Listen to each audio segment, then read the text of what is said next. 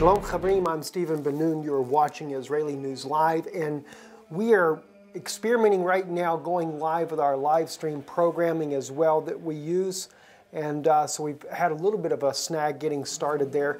And, uh, but we trust those of you that watch on YouTube, you get to see a little bit more because you get to see the, the information that we're inputting on the screen as well. But those that want to be able to start watching our Israeli News Live on live stream, and I'm a little bit an amateur at this, so we're still working out the bugs on it. You will be able to watch, as some are watching right now on live stream, are able to see this particular uh, broadcast live. and what we're dealing with today, we're talking about who controls uh, Jerusalem, who controls Israel as a whole. And an article that has been posted on Israel National News by Ari uh, Yashar and Shlomo uh, they, there's an article in Israel National News says demand for access to synagogue on the Temple Mount. Now, some of you may not be aware, it's actually on the wall, but the building of the synagogue is just inside the Temple Mount wall. It is, it is what we call the Temple Mount Synagogue. It is the closest place, it is the only place where a Jew can go and prostrate himself uh, on the Temple Mount according to the biblical mandate for Jewish people. And this, uh, this temple has also been uh, taken over by the Israeli military and considered now a military zone. Let's take a look at what the article says here. He says that uh, Joint HQ uh, of Temple Mount Organization chairperson, attorney Aviad Visoli, has sent an urgent letter to Jerusalem District Police Chief Moshe Edri demanding that, that he open the synagogue on the walls of the Temple Mount to, the, to Jewish access. The synagogue is on the grounds of a Mahkama building situated adjacent to the Kotel, the western wall, but extending out over the grounds of the Temple Mount, the holiest site in Judaism as it is called. The synagogue at Mahkama building has special uniqueness and importance to Jews. In, in that it is the only synagogue in the world located within the walls of the Temple Mount, wrote Visoli. Therefore, this synagogue is the only one in the world where the commandment of prostrating oneself on the Temple Mount, um, excuse me, on the Temple Mount can be fulfilled. Visoli demanded that Edri respond to his request by Tuesday adding that if no response is given, the Joint uh, HQ activists are prepared to launch legal process against the Israeli police to compel them to enforce the law for preserving the holy sites, which promises free access uh, to holy sites. They're going to be in for a surprise because it's not the police that's in control of this. This is controlled by Rome. And we're going to go into some of these key, uh, key information regarding this. The urgent letter comes as a follow-up after Visoli's request to enter the synagogue was rejected the day before. Now, now, keep in mind, in Israel right now, we are under we are in Passover time. We are in the the uh, the, the, the Sabbath of Passover. This is a very holy time for the Jewish people. Ten days of this Passover time that we celebrate, and yet we are being denied the access to uh, what would be considered one of uh, Judaism's holiest sites, especially the, the holiest synagogue for Jewish people, to be able to be closer to where the Holy of Holies was actually built, uh, where the Dome of the Rock is now sitting. Uh, but anyway, he goes on to say, like many other Jews, Visoli was denied access to the Temple Mount during Pesach, which is the Passover, on Sunday. Short of access to the mount, he asked permission to visit the synagogue, but was denied by Area Commander Avi Bitton, uh, who explained the synagogue had been turned into a military base. Now, since when does the synagogue get turned into a military base? I mean, this is just ridiculous. In response, Visoli wrote, There is a great doubt as whether a military territory order is in effect on the Mahkama area, as Police Commander Bitton claims. Um, but even if there is one in effect, the, the commands of the law for the preservation of the holy sites takes precedent over that in regards to everything related to free access. That's kind of interesting. The Muslims are given free access uh, to a site that really does not belong to them. Uh, the, the Vatican is given more than free access because it doesn't only get free access, it even takes over those holy sites that belong to Judaism. The article continues on right here at the nearing the end. For Jews to their holy place and military territory, said the attorney, what's more safe passage to the synagogue can be defined without harming military territory, residents of Border Patrol soldiers. Addressing Edri Visoli wrote, As known to you, the state of Israel is a Jewish and democratic state that is subject to the rule of law. At least we think it is. And it is not a military dictatorship in which soldiers, residents cancel holy sites. I applaud him for, for making this stance. It's also like Moshe Feiglin, uh, the former, uh, or who is the, uh, part of the MK, who was running for, for Prime Minister, uh, against Prime Minister Netanyahu, how he mysteriously got kind of pushed out of the race. All, all the true Jewish people that are there that are trying to stand for Judaism's rights, for the Jewish people's rights to the land that God has given us, are being silenced. And you cannot help but wonder why. Now, I did not announce that this is a prophetic segment, but, uh, but I do want to go into a couple of the biblical aspects regarding this before I go into another statement here. And I just, as a reminder, many of those that watch us on the Noon Institute of Biblical Research uh, on YouTube are very much aware of this. Uh, but in Ezekiel chapter 35, let me just remind you of the prophetic implications of what's happening in Israel today. It says, Thus will I make Mount Seir most desolate and cut off from him that passeth out and him that returneth. Now, I've clearly been able to prove this biblically that this is speaking of Rome. He's speaking about Mount Seir, he's speaking about Edom, Esau, and we find in Obadiah that it was the children of Esau that stood there while the Syrian army uh, ransacked uh, Jerusalem during the time, uh, 70 years, uh, 70 AD, which was right after the time of Yeshua's ministry here on earth. And it was Titus, the Roman general, who God is attributing as standing there and also taking back the holy articles uh, back uh, to Rome. Now, we know the Vatican was not established at that time, but nonetheless, in the catacombs of the Vatican are, are where these holy articles are, are, now, are now are at. So I can't help but wonder if they're, they're not being used more or less as a, as, as a, as a hostage of, of sorts uh, with some of the politicians in Israel. If you do what we say, we will give you these items and we will help you build a third temple according to the way they want to do it and on their own terms. But anyway, let's look at the scripture, what it says here.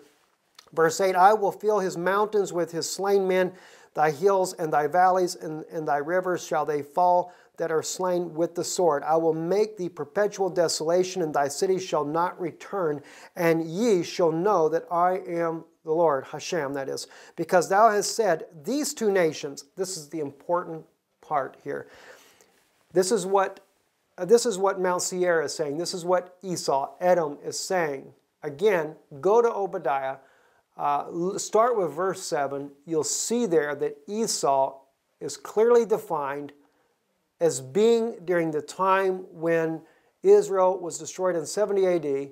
We know that that was Titus, the Roman general, so therefore God is clearly showing that the, the descendants of Esau are in a specific place here. They're in a specific place, and, and, and a lot of people are totally unaware uh, about this. So at any rate, there, I just encourage you to read in Obadiah to follow up on that. Uh, so, anyway, because thou hast said, These two nations, these two countries shall be mine, and we will possess it, whereas the Lord was there. That's Hashem. God Himself was there.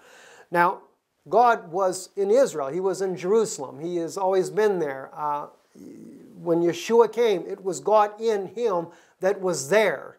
All right, now, uh, not to mention, he, he meets uh, Jacob uh, there. He comes with the, with, with, with the, the ladder, with the angels ascending and descending, and he makes the covenant with him. So we have all the proofs of where this particular place is. But it's interesting that he says, because he says, because thou hast said these two nations, what two nations? Rome has taken and divided Israel and made the West Bank, a, uh, made, created a Palestinian people uh, and that includes Gaza, uh, uh, where Hamas is there, but they've created two states out of Israel. Now, they don't want to say it's two states yet, but it is two states nonetheless. And the Jewish people, so he says, these two, nations and these two countries shall be mine, which also lends to, to, for us to know that they will become two states. It will be, it will be uh, finalized. Uh, but he says, and we will possess it whereas the Lord was there. So showing the purpose for dividing Israel is that Rome is looking for a, a way to be able to occupy and take all of Jerusalem. This is the reason why they're doing it. It's why Daniel reports in chapter 11 that he comes up strong with a small people, that are the Palestinians. This is what we see with the United States. Uh, uh, the military arm of the Vatican, and, and, according to John Stockwell, who says that the United States overthrows regimes, they fund both sides of, of, of, the equation, like in the case of Iraq and Iran, where the United States funded the Iraqis and the Iranians and created a civil war. And it's exactly what happened. A civil war ensued so that they would kill off each other. Well, this is what this is exactly what the U.S. is doing as well in the case of Israel. It's very well publicly known. Everyone knows that the United States funds the Palestinian, the Hamas terrorists, and as well they give money to Israel.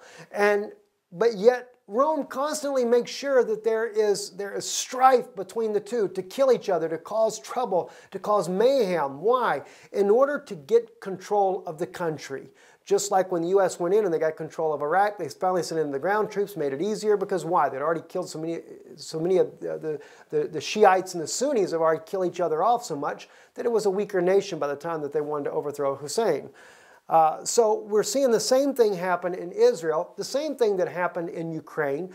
Uh, it was the United States government that toppled uh, the, the legal government of Yatsenyuk, uh, excuse me, not Yatsenyuk, but um, uh, the president there, the, the pro-Russian president, he was overthrown. Poroshenko was put in his place.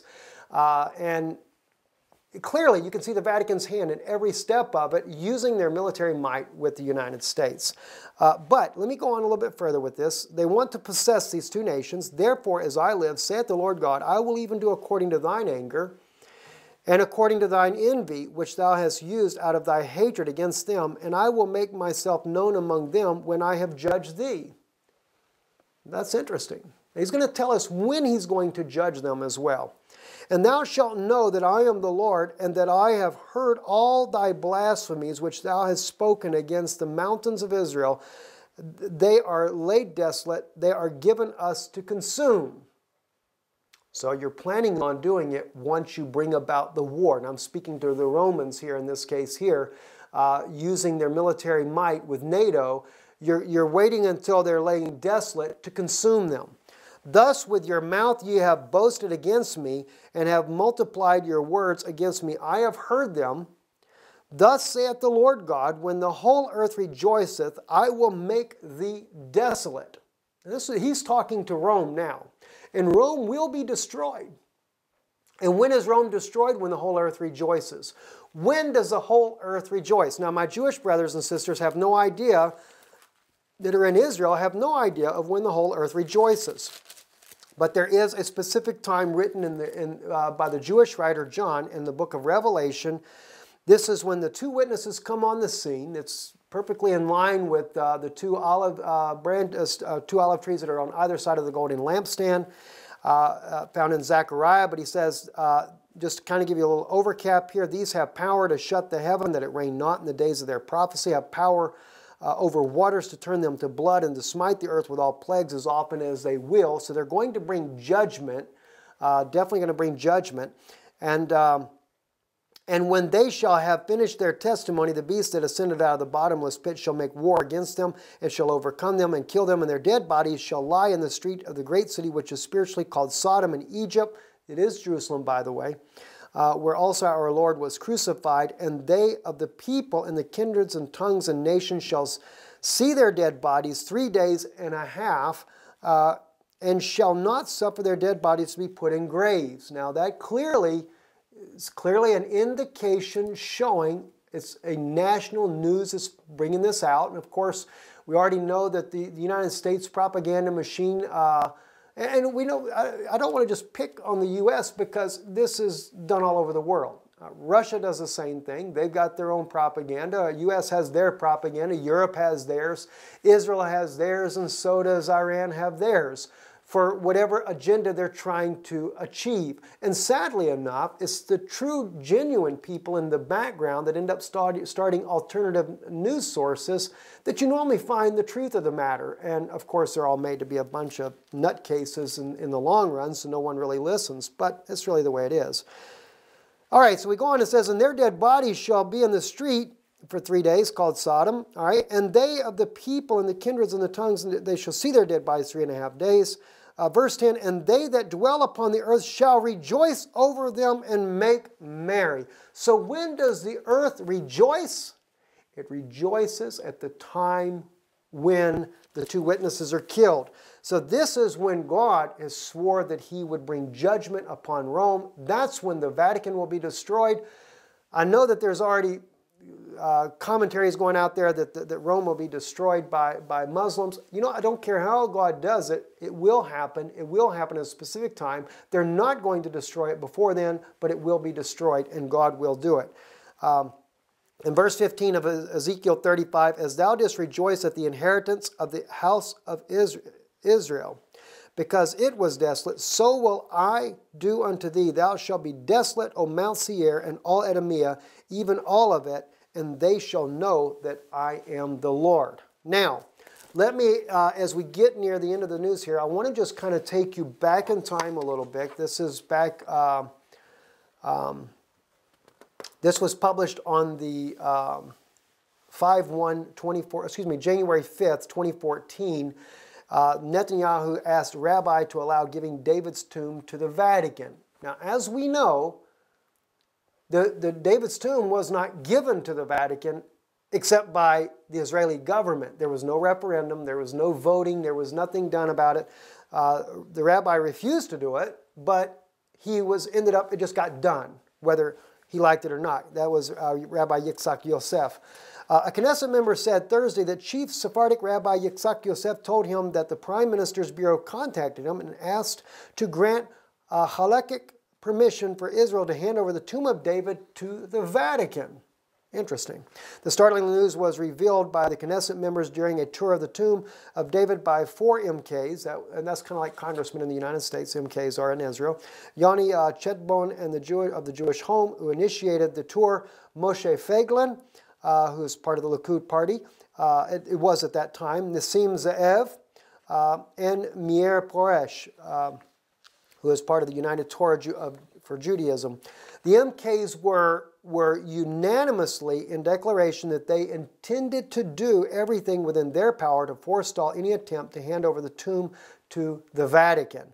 There are also reports that not just the tomb, but the entire Mount Zion compound is up for transfer. So those that don't believe that all of Mount Zion was given over to the Vatican, you got it right here. They knew this is, this is, these are, are what we'd consider the parliamentary members of Israel, of the Knesset. They knew that this was going to be done. All of Mount Zion was given over. And yes, all of Mount Zion was given over. All you have to do is go back. You can Google this. You can see uh, clearly where uh, Mount Zion was definitely given to Rome. They had special forces from Israeli police not just the regular police, but the special force units came in, forced out. This not only did they did they ha- they they pull the Jewish people out of the tomb of David during the time that Pope Francis was there. Uh, of course, there was a lot of protests going on by the by the uh, Orthodox community before he came, and uh, and and they they removed them while the Pope Francis had his communion service in the upper room. Now there is also a biblical passage regarding that. And that's where he says, You have drank on my holy mountain. Uh, I, don't have that in front of me right now, and we are live, so I can't bring that up to you. But uh, but I've done that many times in the past on this uh, regarding the Vatican, and uh, certainly uh, it's the Pope of Rome that's drinking on God's holy mountain, and God is not going to just sit back idle and allow this to continue on. Uh, but anyway, they did take later. Uh, uh, like a week or so later, they continued doing communion services at the upper room uh, above the tomb of David. And then also, they forced the Jewish both men and women out of the tomb of David, and the Catholic Church went in the tomb of David and held a communion service. They were showing Israel that we have it all. They were making a political statement to let the world know we have control of this. But Rome is not satisfied. They don't have it all as of yet. Let me read a little bit more of this article to you. It's very important uh, even though it was in January of last year, says there have uh, been reports recently of a secret negotiation channel between the Vatican and the Israeli government regarding the tomb, and especially as se the second floor, which the Vatican calls the Room of the Last Supper and the Mount Zion compound. Officially, this report was denied by the government, with, uh, with Deputy Minister Ze'ev Elkin taking, uh, talking to the Knesset podium to state that it was untrue. However, the government has decided to place exclusive authority regarding the holy sites in the hands of the prime minister, fueling speculation that a secret deal is indeed in the works. And we saw it. It came out. It happened. Rome controls it, and Rome is also controlling what's going on with Prime Minister Netanyahu there. And I can only trust that he is backing out of this agreement now because there's been a lot of tension between him and the United States. And of course, the United States is the military arm that forces what goes on uh, with, with world leaders that do not obey. Just like Zeman, uh, President Zeman of the Czech Republic, the, the, Czech, the Czech government refused to pay for his flight ticket to go to Russia. He wanted to go be part of the, the liberation of the parade of World War II in Russia. Why? Because as he put it, you have to remember the Jewish people were under, under Nazi control. Uh, Germany had taken over this country and they were killing the Jews. Zeman is a Jewish man. And as well as the president of uh, the Czech Republic, uh, current, Czech, uh, current president of the Czech Republic right now. Finally, they did agree to pay for his flight, but even he got a phone call, and this is on News Today in the Czech Republic. My father-in-law was watching that particular news there, so he could translate it for me. But the, the United States ambassador from uh, the embassy in the Czech Republic called him and discouraged him from going to Russia when all the other NATO allies are against the Russians right now because of Ukraine. And he says, Who are you to tell me that I cannot go to Russia to a parade? Since when does the United States dictate these, these matters to me? So he has forbidden the U.S. ambassador to even come to the castle of the Czech Republic in Prague. My hat is off to this man. God bless Zeman, President Zeman, for making this stand. The only sad thing is they're definitely going to try to overthrow him now. Uh, he's not in full compliance. We know that he has had his hand forced uh, in a lot of different areas there. Uh, and, and, and again, I understand Czech people living under uh, Soviet uh, rule after the Second World War, the oppression that they went through. But believe me, friends, you've not seen oppression yet. Unless you're Catholic, which most Czechs are, most Slovaks are, most people in all of Eastern Europe are Catholic. Therefore, it'll be an okay system for them. But other than that, if you are an independent Christian believing in God the way you want to believe in it, this is not going to be a safe place to be uh, at all in this world. I don't care where you are Israel, Europe, uh, United States, they're bringing about a one world government, and Vladimir Putin is fighting that. Uh, so even though he did go to the Pope of Rome, the Pope has not conquered Russia because he's not gone to Russia, so therefore it's causing a lot of problems. All right, let me get back to this again here just to finish this article up and we'll end the news here. The Vatican attempts to gain a sovereign foothold on Mount Zion have been going on for a year, but thus far unsuccessfully. Well, we know that's not true. Now it's already conquered by them. The visit to Israel by Pope Francis is less than a month away, done come and gone. Okay, this is a factor in the timing of the MK's tour to the compound. A representative of the Religious Ministries Department of Holy Sites was also present. Now, let me go down to this one point here I want to make. They say here in this article, for many years, the Vatican has been investing large sums in purchasing assets in Jerusalem with the purpose of blurring the city's Jewish character. Imagine that, said uh, Chetboun. This trend must be blocked in the basic law of Jerusalem, which forbids handing over sovereignty on parts of the city to foreign entities must be enforced. Today's tour is only the beginning of the struggle, and we will bring more MKs here. The Tomb of David is a cornerstone of the city's Jewish history. We must safeguard it. And unfortunately, that battle was lost when the Pope Francis came to Israel. As it is said by um, uh, a former Jesuit that came out of the, the, the, the system there, and that's uh, Dr. Alberto Rivera. He said, when a pope's foot touches the ground of a country, it's because he has conquered that country. And he has definitely came to Israel, stood at the Wailing Wall. So he is showing that he has conquered this. And very sad, very sad indeed as, as well. But God will take it back, have no fear. Remember, this, the prophecies there, Ezekiel 35, he definitely wants to take them both. But God is going to take it all back. Uh, we'll go through a hard time in Israel, but it will come back once God has set things in order. Anyway, I'm Stephen Ben-Nun. You're watching Israeli News Live. Again, don't forget, we are now running on live stream. It's still running. It looks like 25 minutes to it, so I think we did it successfully there. Uh, we will be setting up a time frame for live stream in the very near future where you'll be able to watch the news live. So you can join us there. So those that were actually on live stream today have already heard this news, but you'll be able to catch it also on YouTube where we will actually have the imagery in the background so that you can see the things that we're talking about. Shalom.